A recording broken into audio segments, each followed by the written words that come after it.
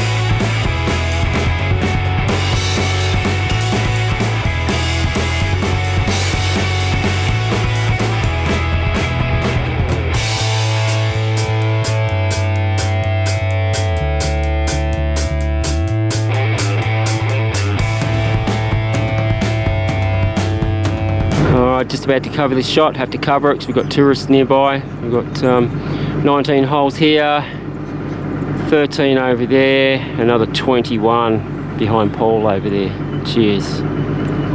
53 hole shot, covered. Still might chuck a bit though.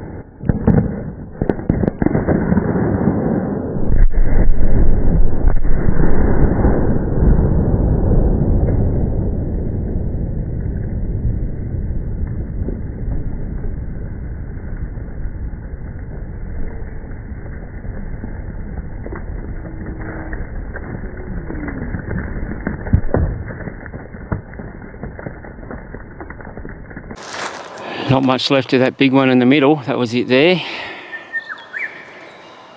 The dirt kept it all pretty well contained.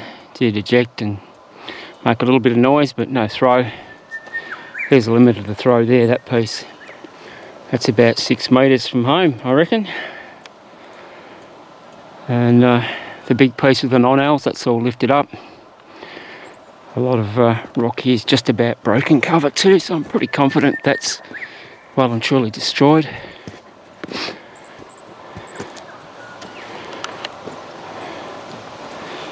Oh yeah.